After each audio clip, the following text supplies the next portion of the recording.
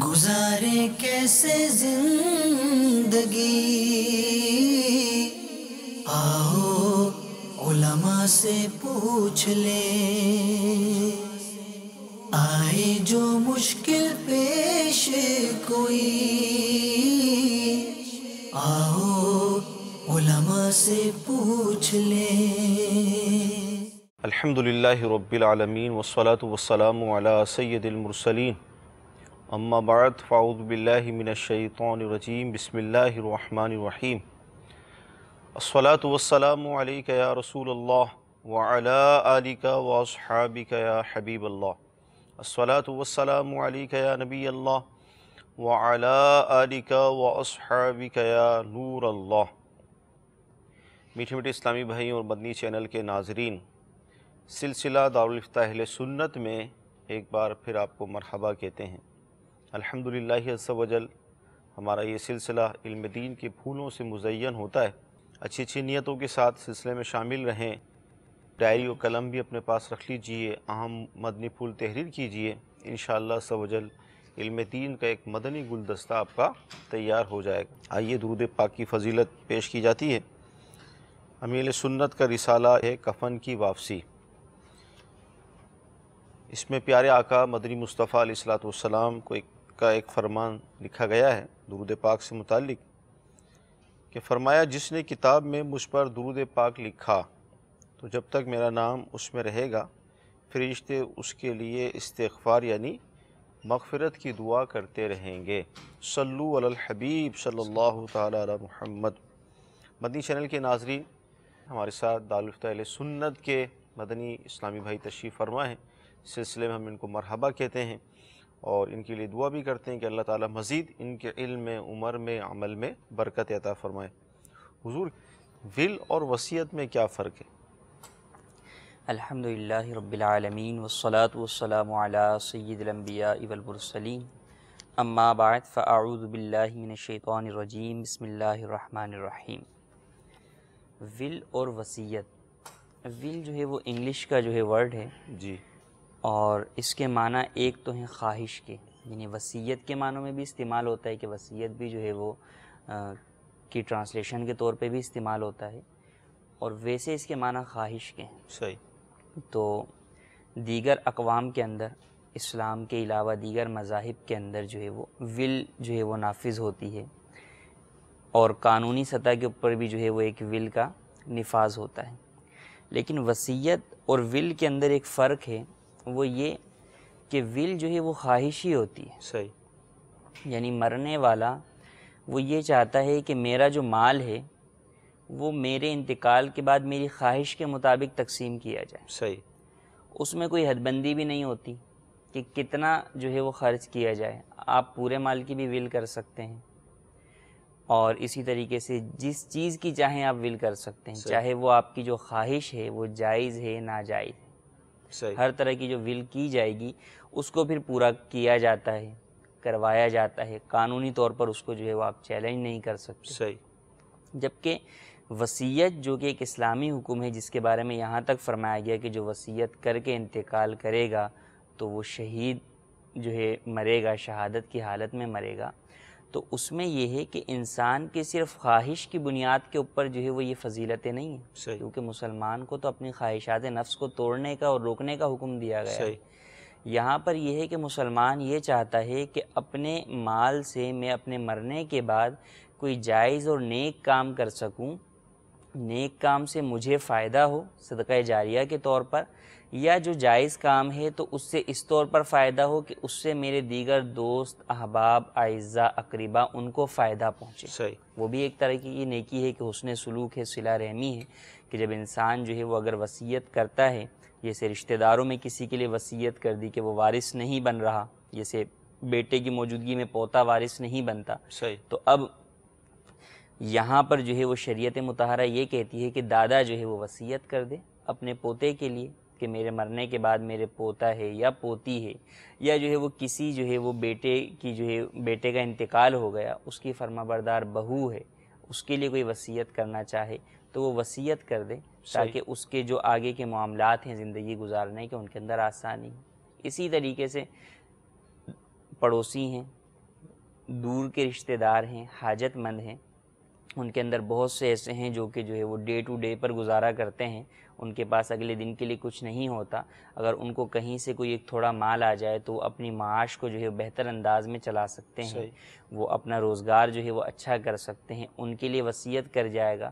تو یہ بھی جو ہے وہ صدقہ اور صلہ رحمی ہے اور تیسرے سٹیپ پر آتا ہے کہ صدقہ جاریہ کی جو ہم نے بات کی کہ مسجد کے اندر مدرسے کے اندر ان چیزوں کے لیے آپ جو ہے وصیت کر کے جاتے ہیں کہ ان وصیت سے آپ کے مرنے کے بعد ہمیشہ ہمیشہ جو ہے وہ آپ کو ان کا ثواب ملتا رہتا ہے جب تک مسجد کے اندر جو ہے نماز پڑھی جائے گی۔ ثواب ملتا رہے گا۔ مدرسے میں تعلیم قرآن ہوگی ثواب ملتا رہے گا۔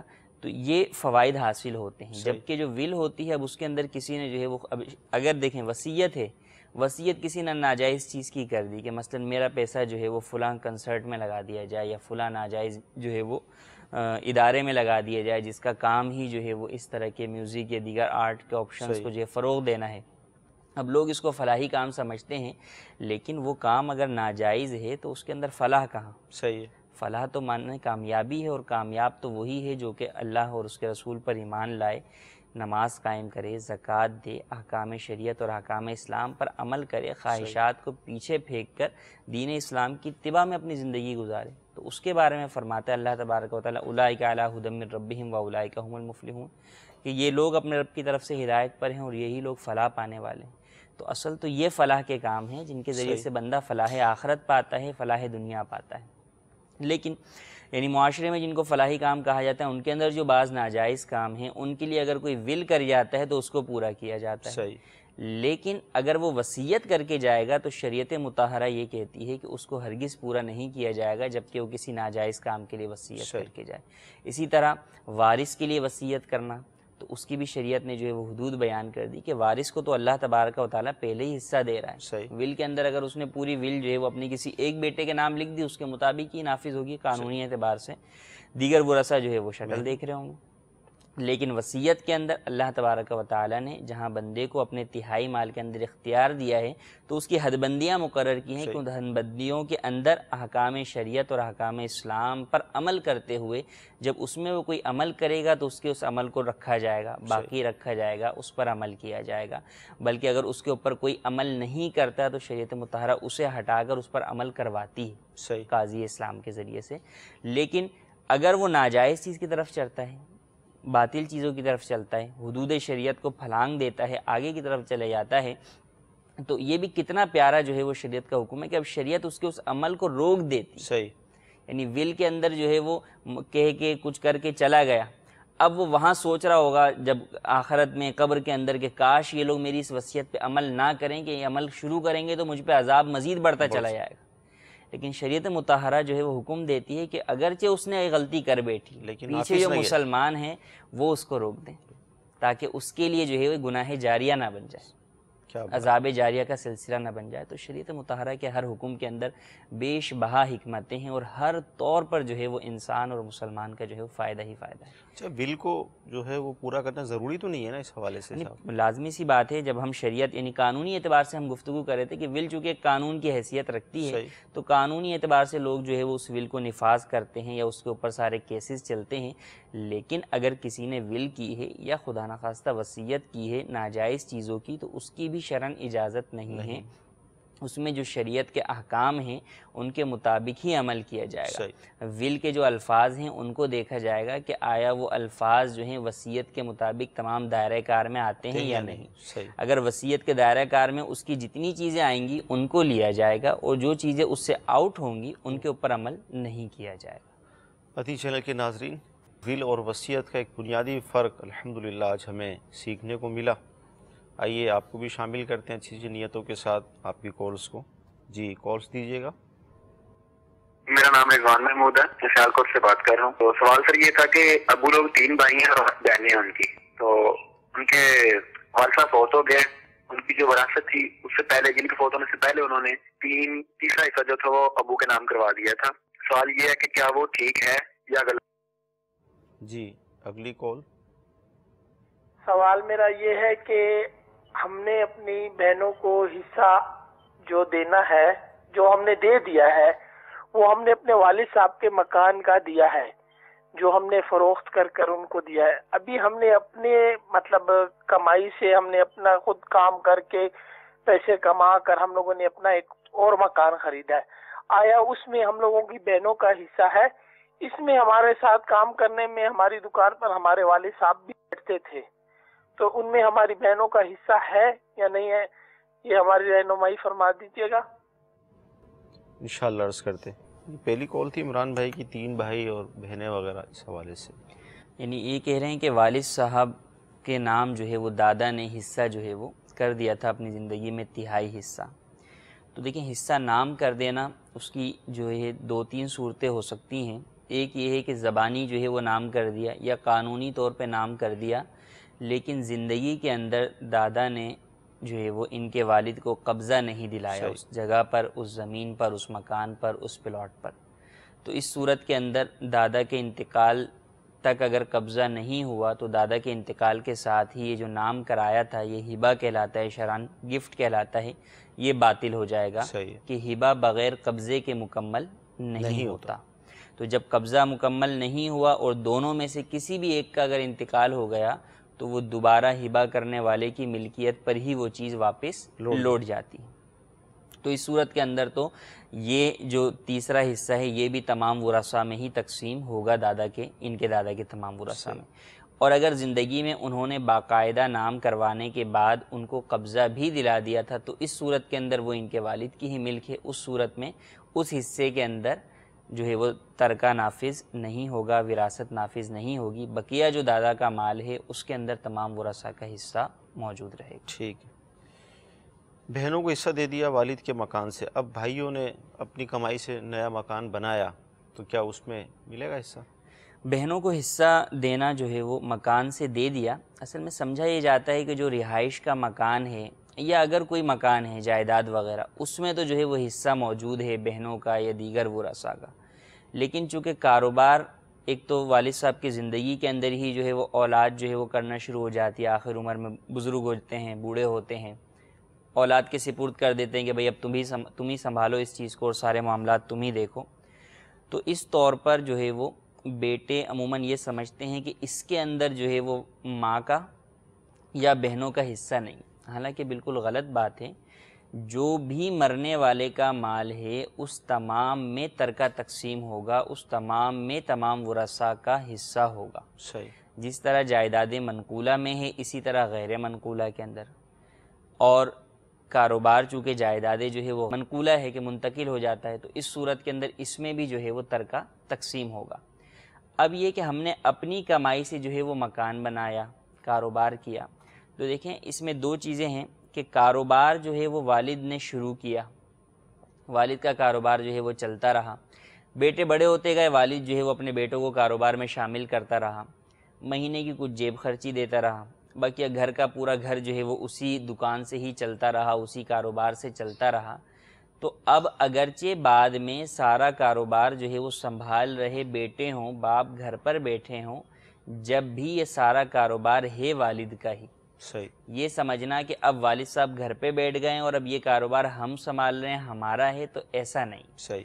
جیسے اگر کوئی شخص جو ہے وہ بیرون ملک میں رہتا ہو اور یہاں پر جو ہے وہ اپنی پوری ملازمین کی فورس سے اپنی کسی کمپنی کو چلائے اور مینیجر بولے کہ یہ تو کمپنی پوری میں چلا رہا ہوں تو لہٰذا میری ہے تو ہرگز ایسا نہیں سمجھا جاتا ہے کہ اس کے اندر لازمی سی بات ہے کیپٹل انویسٹمنٹ جو ہے وہ ساری مالک کی ہے تو وہ مال اسی کا شمار ہوتا ہے۔ صحیح۔ جو افراد کام کرنے والے ہوتے ہیں، یا تو وہ جب والد صاحب کے ساتھ کام کر رہے ہوتے ہیں، وہ حسن سلوک، گھر کے سارے معاملات اس طور پہ کر رہے ہوتے ہیں، والد کے معاون اور مددگار ہوتے ہیں، یا اگر کسی جگہ پر اجرت طے ہو جاتی ہے کہ بھئی پر من جو ہے وہ اتنے جو ہے وہ آپ کو دیں گے باقی جو ہے وہ گھر کے اخراجات میں چونکہ سارے ہی شامل ہیں وہ دکان سے ہی پورے ہوں گے۔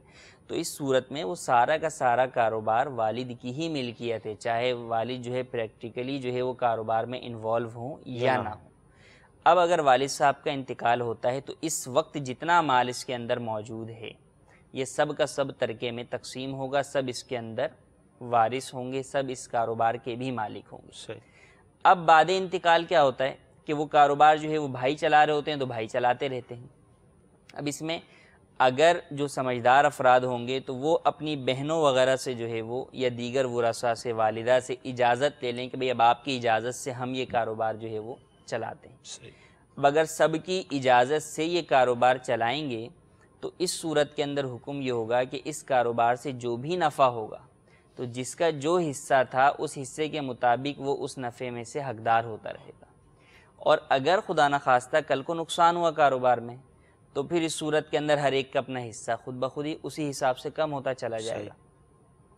اور اگر بھائیوں نے نہیں پوچھا بہنوں سے والدہ سے یا کوئی ایک بھائی چلا رہا تھا اس نے دیگر بھائیوں سے نہیں پوچھا تو اس صورت کے اندر جو نفع ہوگا تو جو شخص چلا رہا ہے وہ ایک ہے یا دو چار بھائی ہیں ان کا اپنے حصوں کے مطابق تو اس میں سے نفع لینا جائز ہوگا۔ لیکن والدہ اور بہنوں کا حصے کے مقابلے میں جو نفع حاصل ہو رہا ہے وہ ان کے لیے مل کے خبیص ہے پاک مال نہیں ہے۔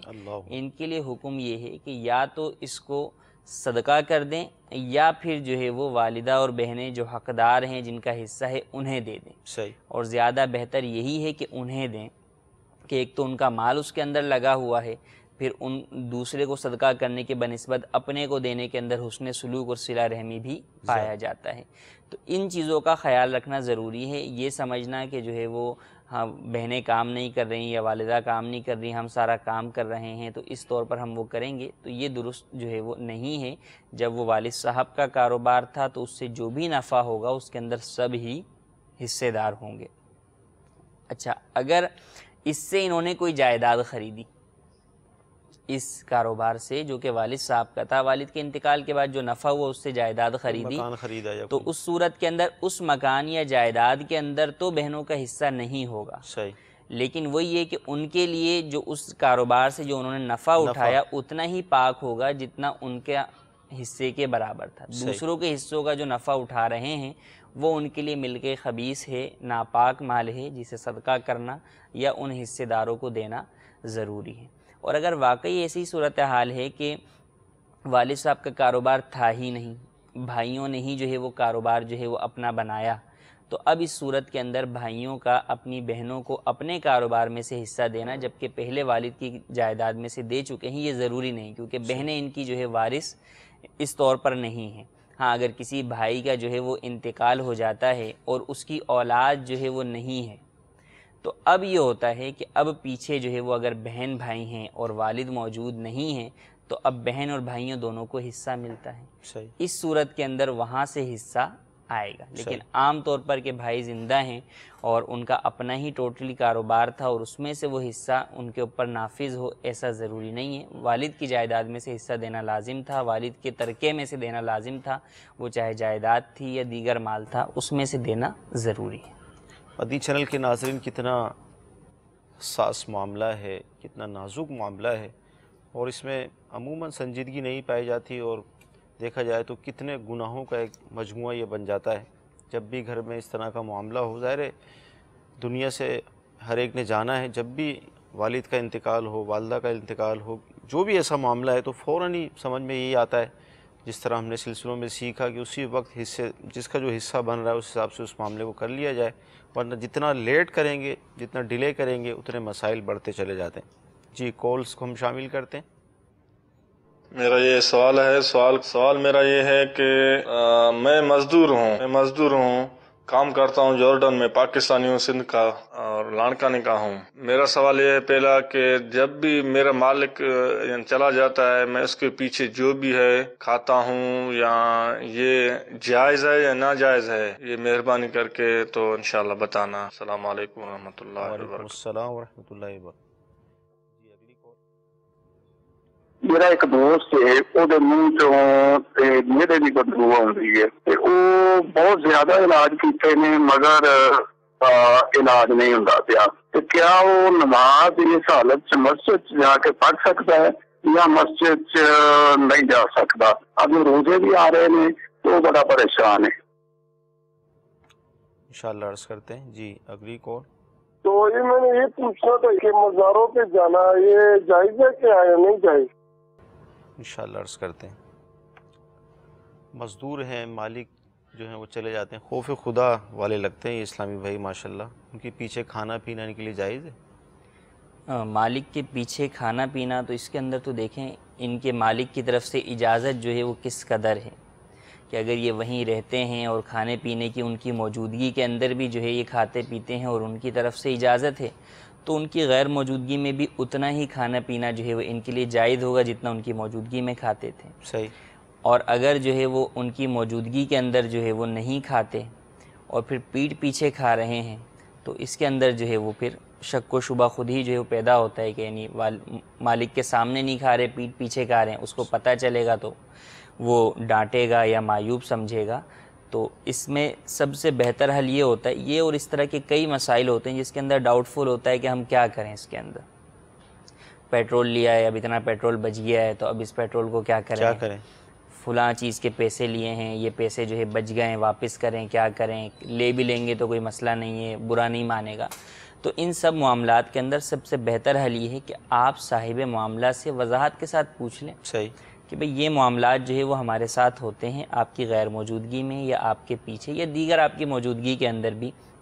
کیا آپ پچاس روپے پیٹرول کے دیتے ہیں چالیس کا لگتا ہے اس کا ہم حساب نہیں رکھ پاتے تو اب یا تو آپ کو حساب بتا دیں یا یہ کہ آپ ہمیں اجازت دے دیں۔ صحیح۔ تو اس سے واضح طور پر پوچھ لیں لیکن یہ پوچھیں اسی سے جو کہ مالک ہو۔ صحیح۔ اس کے نیچے جو نمائندے ہوں جن کو اس بات کا اختیار نہیں ہے کہ وہ اجازت دیں تو ان کی اجازت کافی نہیں ہوگی۔ ان۔ طرح کے معاملات میں یہ بھی ہوتا ہے کہ نیچے کے آفیسرز کہہ دیتے ہیں کہ بھائی کر لو کوئی مسئلہ نہیں۔ ہے۔ تو یہ درست نہیں ہے۔ کیونکہ مالک وہ ہے تو پھر نیچے یہ اجازت دینے والا کون؟ نہ اس کو اس بات کی اتھارٹی ہوتی ہے کہ یہ اجازت دے۔ تو جو اصل مالک ہے اسی سے پوچھا جائے اور جہاں ایسا نہ ہو تو وہاں پر پھر جو ہے وہ ہر صورت کے اندر احتیاط یہ ہے کہ بندہ بچے کسی کا مال جو ہے وہ ناجائز طریقے سے ہماری طرف نہ نکلے ہمارا بھلے جو ہے وہ دو چار روپیہ کسی کی طرف چلا جائے۔ صحیح۔ غالباً یہ تھا منہ میں بو کے حوالے سے۔ علاج کافی کروایا مسجد میں ان کا جانا کیسا رمضان شریف کا مہینہ بھی آ رہا ہے تو کافی پریشان ہے منہ میں جو بو کا انہوں نے کہا تو اگر منہ میں بو ہے تو اور ایسی بو ہے کہ وہ باہر جو ہے وہ آتی ہے تو اب اس صورت کے اندر تو مسجد کے اندر جو ہے وہ جانے کی اجازت نہیں ہے کیونکہ مسجد کے اندر جو ہے وہ بو کو لے جانا یہ منع ہے حدیث مبارک میں منع کیا گیا ہے اس سے۔ البتہ اس کے لیے علاج کی جو ہے وہ کوئی نہ کوئی کوشش کریں یا اگر ایسا ممکن ہے کہ کوئی چیز کھائیں جس کی وجہ سے جو ہے وہ پانچ دس پندرہ منٹ بیس منٹ جو ہے وہ خوشبو جو ہے وہ ہو جاتی ہے تو وہ چیز جو ہے وہ استعمال کر لیں۔ اور نماز میں مسجد میں جانے سے داخل ہونے سے پہلے اس چیز کو استعمال کر لیں۔ ماؤتھ فریشنر وغیرہ بھی آتے ہیں وہ یوز کر لیں۔ صحیح۔ تو یعنی بدبو اگر دور ہونا ممکن ہے اگرچہ کچھ وقت کے لیے جتنے وقت کے لیے مسجد میں جا رہے ہیں اس کو استعمال کر لیں۔ اور اگر یہ سب ممکن نہ ہو تو پھر اس صورت کے اندر گھر میں جو ہے وہ نماز ادا کریں۔ ٹھیک۔ مزارات پہ جانے کے حوالے سے کیا فرمائیں؟ مزارات پر جانا جو ہے وہ بالکل جائز ہے احادیث طیبہ سے ثابت ہے۔ نبی کریم صلی اللہ علیہ وسلم کی حدیث مبارک ارشاد فرمایا کہ میں نے اولاً تمہیں زیارت قبور سے منع کیا تھا لیکن اب زیارت قبور کرو کہ یہ موت کی یاد دلانے والی ہیں۔ تو زیارت قبور کرنا بالکل جائز ہے، احادیث طیبہ سے ثابت ہے اور خاص طور پہ مزارات اولیاء پر جانا۔ اس کے اندر زیارت قبور کے ساتھ ساتھ ان بزرگ سے استفادہ، ان بزرگ کے وسیلے سے دعا، ان کی قربت کا حصول، یہ تمام چیزیں جو ہے وہ موجود ہوتی ہیں۔ خود نبی کریم صلی اللہ علیہ وسلم جو ہے وہ ہر سال مقام عہد شریف کے اندر جو عہد کے شہداء تھے ان کے جو ہے وہ مزارات پر جو ہے وہ حاضری دیا کرتے تھے اور آج بھی جو ہے وہ اہل مدینہ اور دیگر تمام مسلمان جو ہے وہ مدینہ منورہ جب جاتے ہیں تو خاص طور پر جو ہے وہ مزارات عہد پر حاضری دیتے ہیں۔ تو مزارات کے اوپر جانے کے اندر بالکل جایا جائے۔ البتہ اس میں جو آداب اور طریقے ہیں ان کا خاص خیال رکھنا ضروری ہے کہ جب بھی مزار کے اوپر حاضری دیں تو مزار کے بالکل قریب نہ چپک جائیں، بلکہ چار ہاتھ کے فاصلے پہ کھڑے ہو کر پیتانے کی جانب جو ہے وہ کھڑے ہو کر فاتحہ پڑھیں ایسال ثواب کریں، سورہ فاتحہ، سورہ اخلاص جو مکمل فاتحہ کا طریقہ ہے وہ پڑھیں ایسال ثواب کریں، دعا جو ہے وہ کریں، ان کے وسیلے سے دعا مانگیں اپنے کاموں کے لیے۔ اور تلاوت قرآن کریم وغیرہ کرنی ہے تو سائیڈ میں کسی ایک جگہ پر بیٹھ کر تلاوت قرآن کریم کریں، یاسین شریف اور دیگر صورتیں پڑھ کے اس کا ایصال جو ہے وہ انہیں کریں اور پھر جو ہے وہ مزار کو چھوئے بغیر جو ہے ویسے ہی الٹے پاؤں پلٹ آئیں۔ تو یہ جو طریقہ ہے مزارات کی حاضری کا، اس کو اپنائیں اور اس کے ساتھ جو ہے وہ کریں۔ ہاں عورتوں کو مزارات پر جانا منع ہے، مزارات پہ بھی اور قبرستان بھی۔ صحیح۔ تو عورتیں نہ مزار پہ جائیں، نہ قبرستان پہ جائیں، گھر سے ہی فاتحہ اور اصال ثواب کریں۔ صرف نبی کریم صلی اللہ علیہ وسلم کے روزہ مبارکہ پر عورتوں کو حاضری کی اجازت ہے اور وہاں پر ان کو آداب حاضری سکھا کر بھیجا جائے گا کیونکہ نبی کریم صلی اللہ علیہ وسلم کے روزہ مبارکہ کی حاضری قریب واجب ہے۔ صحیح۔ ہاں جو عورتیں ناپاکی کے ایام میں ہوں گی چونکہ نبی کریم صلی اللہ علیہ وسلم۔ کی حاضری کے لیے مسجد نبوی میں جانا پڑتا ہے اور ناپاکی کی حالت میں عورت کو مسجد میں جانا جائز نہیں ہے۔ تو اس بات کا خیال کریں گی کہ ان دنوں میں نہیں جائیں گی اس کے علاوہ جائیں گی۔ تو آداب حاضری کو ملحوظ خاطر رکھتے ہوئے نبی کریم صلی اللہ علیہ وسلم کی بارگاہ میں حاضری دے کر آپ پر سلام پیش کریں گی اچھا یہ وصیت کے حوالے سے ہمارا کلام چل رہا تھا کہ بہت ساری باتیں سامنے آئیں۔ تو کیا نابالغ بھی وصیت کر سکتا ہے؟ وصیت چونکہ اپنے مال کے اندر جو ہے وہ کسی دوسرے کو جو ہے وہ ایک طریقے سے حصہ دار بنانا ہے یا اس سے نفع اٹھانے کی اجازت دینا ہے تو وصیت کرنے والا جسے موسی کہا جاتا ہے۔ عربی میں تو اس کا جو ہے وہ اس بات کا اہل ہونا ضروری ہے کہ وہ ان چیزوں کی اجازت دے سکے۔ چونکہ نابالغ اپنے مال کی جو ہے وہ کسی کو نفع اٹھانے کی اجازت نہیں دے سکتا اپنا مال کسی کو ہبا نہیں کر سکتا گفٹ نہیں کر سکتا تو اس لیے نابالغ جو ہے وہ وصیت بھی نہیں کر سکتا۔ صحیح۔ اچھا اسی طرح جیسے دعوت اسلامی کے ماحول کی برکت ہے کہ ہم یہ دعا بھی کرتے ہیں کہ اللہ تعالی ہمیں جنت البقی میں مدفن عطا فرمائے۔ اب جیسے کوئی یہ کہے کہ جیسے ہی میرا انتقال ہو جائے تو مجھے، میں پاکستان میں اگر مرتا ہوں تو مجھے مدینہ لے کر چلے جائیں۔ یا کوئی دنیا کے کسی ملک میں مرتا ہے اور اپنے ملک سے اس کو محبت ہے اور وہ یہ چاہتا ہے کہ میں اپنے ملک میں دفنایا جاؤں کہ وہاں میرے زارے گھر والے بھی ہوں گے، رشتہ دار بھی ہوں گے، تو اس حوالے سے کیا فرمائیں؟ دیکھیں اول تو اس وصیت پر کہ وصیت جو اگر کوئی اس طرح کی کرے تو کیا یہ وصیت نافذ اور لازم ہوگی؟ اور پیچھے جو افراد ہیں کیا ان کے لیے اس وصیت کو پورا کرنا لازم ہوگا؟ تو ایسا نہیں ہے۔ صحیح۔ اس وصیت کو پورا کرنا جو ہے وہ لازم نہیں ہے۔ صحیح۔ اور جو بیرون ملک سے آنے اور جانے کا جو سسٹم ہے اول تو یہ ہے کہ جب انتقال ہو تو جلد از جلد جو ہے وہ تدفین کا حکم ہے۔ صحیح۔ تو ان تمام معاملات کے اندر تدفین میں تاخیر ہوگی۔ اس سے منع کیا گیا ہے۔ صحیح۔ حدیث مبارکہ میں جلد از جلد جو ہے وہ تدفین کا ارشاد فرمایا گیا۔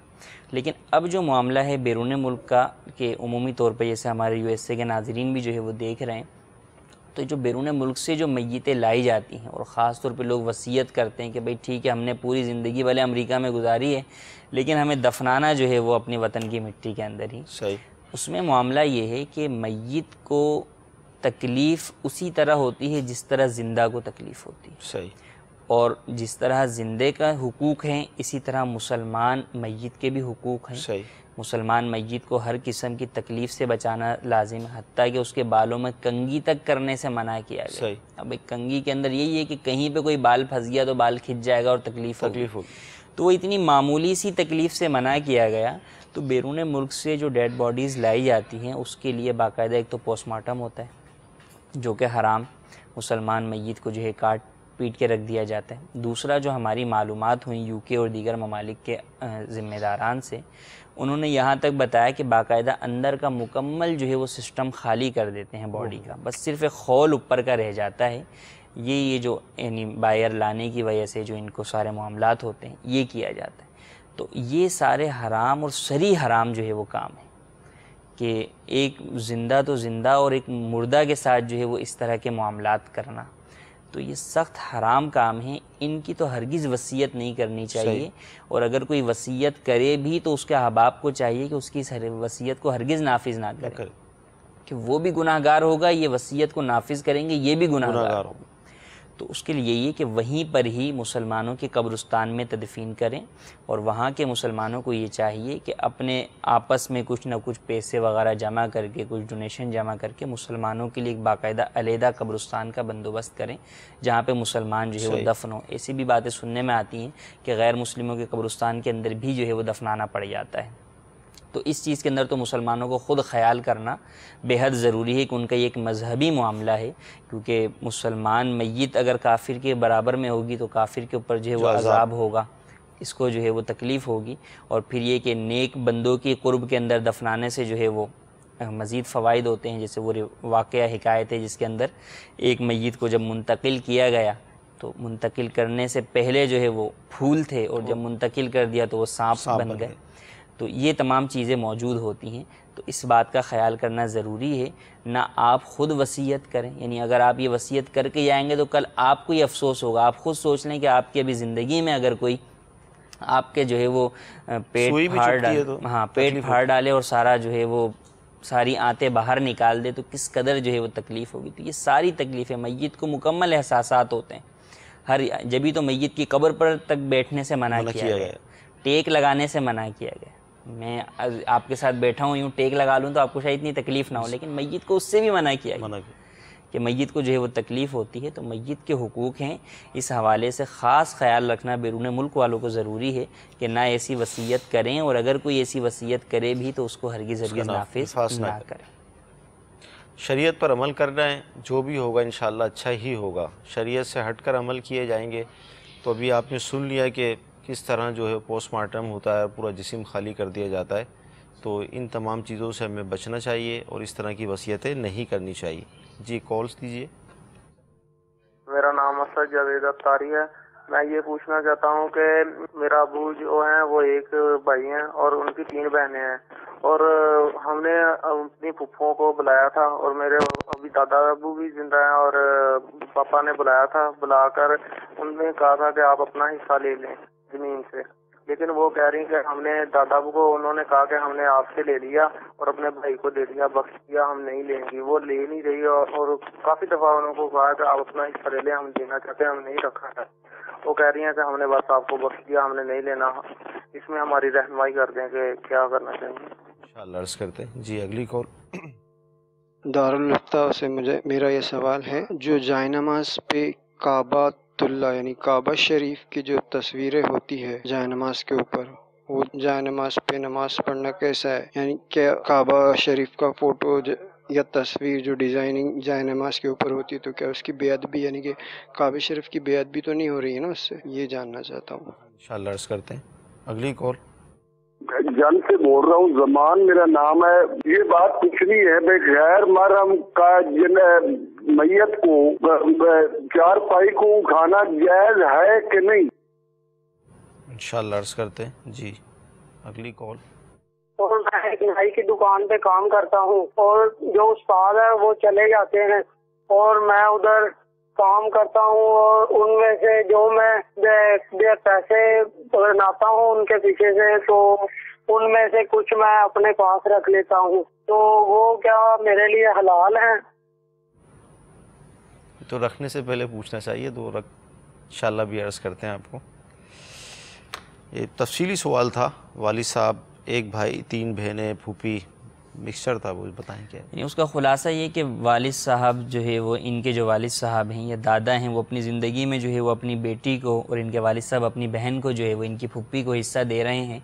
اور وہ لے نہیں رہی ہیں اور کہہ رہی ہیں کہ میں نے آپ سے لے کے ان کو بخش دیا۔ صحیح۔ تو دیکھیں اس طرح صرف کہہ دینے سے یہ کہہ دینے سے کہ میں نے اپنا حصہ جو ہے وہ اپنے بھائی کو بخش دیا اس سے تو حصہ ختم نہیں ہوگا۔ یہی ہے کہ وہ اپنے حصے کو جو ہے وہ وصول کر لیں جو بھی اس کا کیش قبضہ کر ہے لیں۔ یا کوئی جو ہے وہ مکان ہے اس کے اوپر قبضہ کر لیں اور قبضے کے بعد دیں۔ لیکن یہ بھی زندگی کا معاملہ ہے۔ چونکہ ابھی تو وراثت کا معاملات ہوئے ہی نہیں شامل۔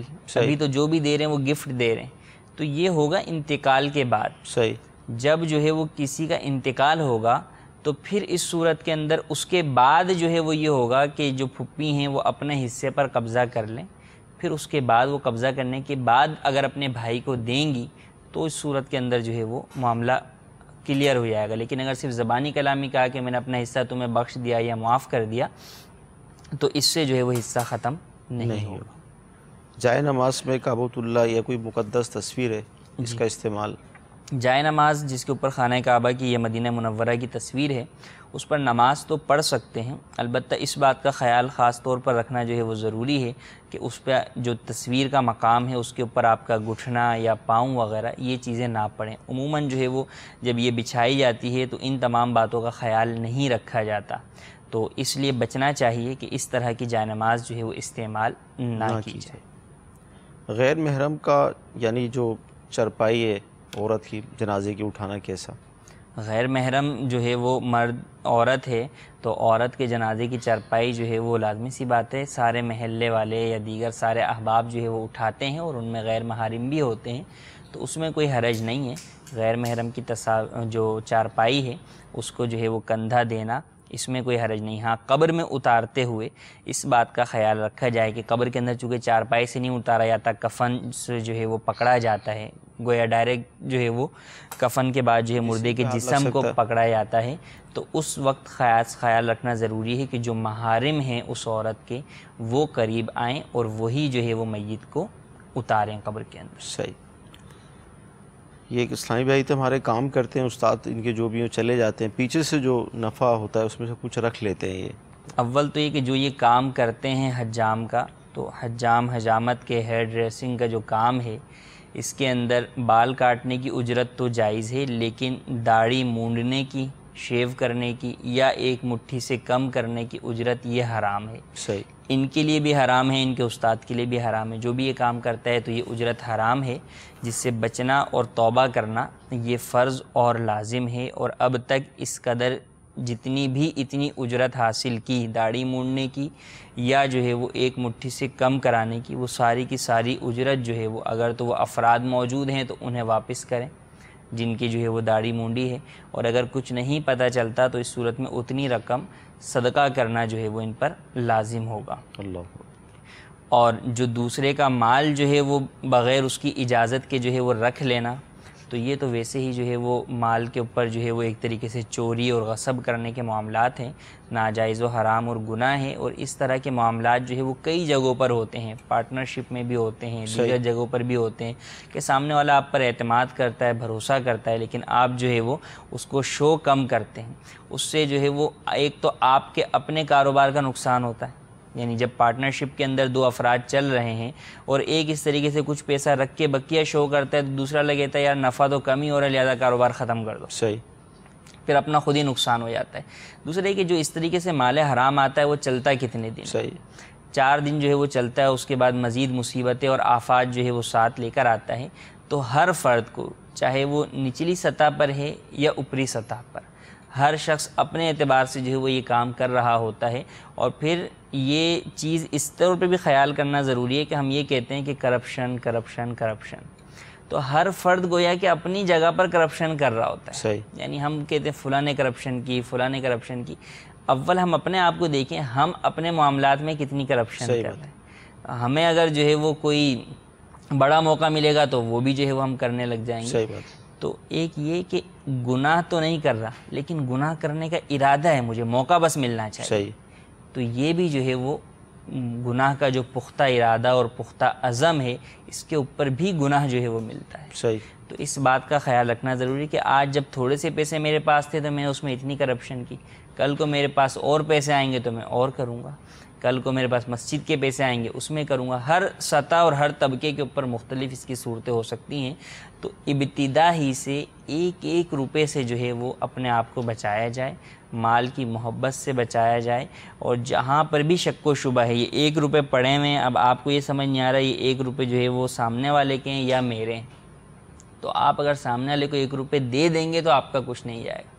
لیکن اگر وہ اس کے روپے ہوئے اور آپ نے لے لیے تو اس صورت کے اندر آپ پکڑ میں آ جائیں گے۔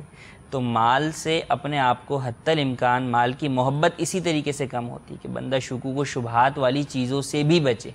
ان کو بھی جو ہے وہ سامنے دوسرے والے کو ہی دے دے خود نہ لے۔ صحیح۔ تو جب یہ انداز اختیار کریں گے تو اس صورت کے اندر۔ اور اب جو انہوں نے اس طرح کے پیسے اگر حاصل کیے جمع کیے ان سارے پیسوں کا حساب کر کے وہ اپنے جو ہے وہ استاد کو بتائیں۔ اور اگر بتانے میں جو ہے وہ فتنے کا اندیشہ ہے تو اس صورت کے اندر بغیر بتائے ہی اس کو دے دیں۔ بولے پتہ نہیں کتنے نکالے یاد نہیں تھے۔ تو ضن غالب کریں۔ اگر ضن غالب میں آ رہا ہے کہ پچھلے جو ہے وہ سال کے اندر میں نے پانچ ہزار روپے اس طرح نکالیں احتیاطاً آپ پانچ ہزار پانچ سو جو ہے وہ استاد کو واپس لوٹا دیں۔ اور یہ کام جو کر رہے ہیں چونکہ اس کے اندر جو کام میں بتایا کہ بعض کام ناجائز ہیں اور ان کاموں سے بچنا ممکن نہیں ہوتا۔ صحیح. تو اس صورت کے اندر اس کام کو بھی چھوڑ دیں اور اپنے استاد کو بھی اس کا شرعی حکم بتا دیں اور ان کو بھی چھوڑنے کی نیکی کی دعوت دیں۔ اعلیٰ حضرت رحمۃ اللہ تعالیٰ علیہ کا ایک فرمان ہم نے پڑھا ہے کہ جو دنیا میں کسی کے تین پیسے دبائے گا ایک روپے کے اندر سو پیسے ہوتے ہیں تو سات سو با جماعت نمازیں اسے دینی پڑیں گی۔ اب آپ غور کریں سات سو با جماعت نمازیں سات سو مقبول۔ مقبول۔ جو بارگاہ الہی میں قبول ہو چکی ہوں۔ گی ہمیں تو معلوم ہی نہیں کہ ہماری جو ہے وہ کون سی نماز قبول ہے کون سی نہیں۔ اب ایک روپے میں سو پیسے ہوتے ہیں اگر کسی کا ایک روپیہ دبایا تو اگر آپ پھر اس کو آپ خود ہی حساب لگا لیں کہ کتنی نمازیں مقبول بن جائیں گی جو ایک روپے کے عوض دینی پڑیں گی۔ لاکھوں روپے اگر ہم نے کھا لیا اور ڈکار بھی نہیں لی تو اب آپ غور فرما لیں کہ کل قیامت کے دن کتنی آزمائش کا سامنا کرنا پڑے گا۔ ایک مسلمان کے لیے اس کی آخرت ہی ہے کہ وہ اللہ تعالیٰ کو راضی کر کر، اس کے محبوب کو راضی کر کر سلامتی کے ساتھ جنت میں داخل ہو جائے، یہی اصل ہمارا مقصد ہے۔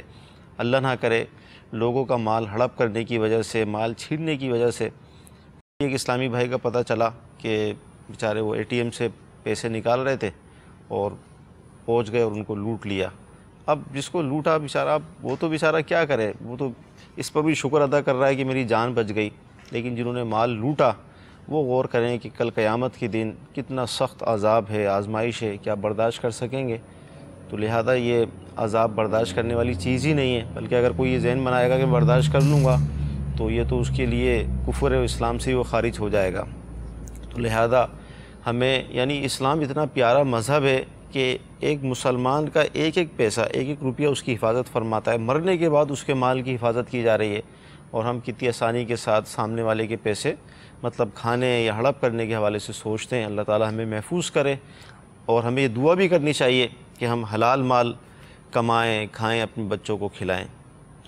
مدی چینل کے ناظرین، الحمدللہ عز و آج ہم نے وصیت سے متعلق کلام کیا۔ اہم مدنی پھول ہمیں سننے کو ملے۔ اللہ تعالیٰ کی بارگاہ میں ہم دعا کرتے ہیں کہ اللہ تعالیٰ ہمیں ایک حقیقی مسلمان بننے کی توفیق عطا فرمائے۔ ہم علم دین سیکھیں، اس پر عمل کریں، اس کو عام کریں۔ اور اس کے لیے الحمدللہ عز و جل دعوت اسلامی کا مدنی ماحول ہمارے لیے ایک بہترین ذریعہ ہے کہ اس ماحول سے وابستہ ہو کر ہم یہ سارے کام اچھے انداز میں کر سکتے ہیں۔ تلاوت کریں، علم دین حاصل کریں۔ علم دین کا حصول یہ افضل ترین عبادت ہے۔ ابھی آپ نے سلسلہ دیکھا اچھی اچھی نیتوں کے ساتھ، تو یہ سمجھ لیں کہ ایک گھنٹہ آپ کا یہ افضل ترین عبادت میں گزرا۔ اللہ تعالی ہمیں مزید توفیق عطا فرمائے۔ صلو علی الحبیب صلی اللہ تعالی علی محمد صلی اللہ علیہ وسلم۔ گزارے کیسے زندگی؟ آؤ علماء سے پوچھ لے۔ آئے جو مشکل پیش کوئی۔ آؤ علماء سے پوچھ لے۔